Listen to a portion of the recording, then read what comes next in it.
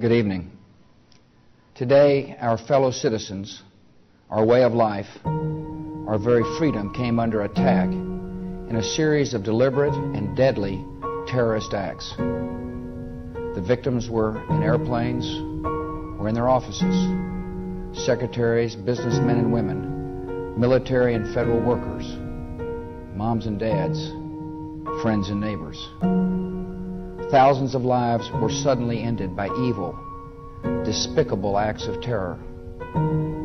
The pictures of airplanes flying into buildings, fires burning, huge, huge structures collapsing, have filled us with disbelief, terrible sadness, and a quiet, unyielding anger. None of us will ever forget this day.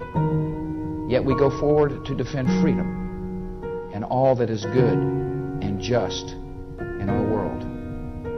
Thank you. Good night. And God bless America.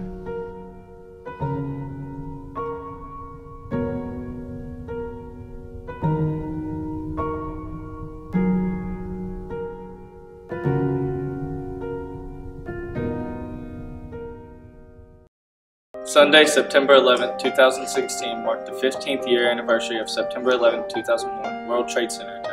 We at Harleton High School would like to offer our condolences to the victims and families of those that lost loved ones.